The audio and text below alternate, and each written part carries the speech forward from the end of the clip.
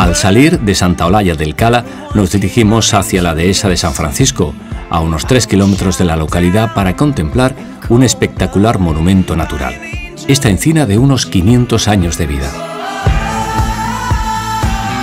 Esta encina tiene alrededor de 500 años y es monumento natural declarado por la Junta de Andalucía.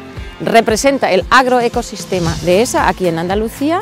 Esta dehesa es declarada ecológica y la explotación, explotación agrosilvopastoril conlleva el cerdo ibérico, la vaca, la oveja y la cabra. Y lo que intentamos aquí es no solo gestionarla, sino fomentar los valores de la biodiversidad que conlleva.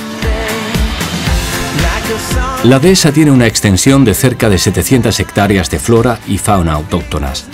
Arroyos, quejigos, encinas y alcornoques convierten este espacio en un lugar perfecto para disfrutar de la naturaleza y donde seguimos admirando la longevidad de algunas de sus especies, como la de este alcornoque de 300 años de existencia.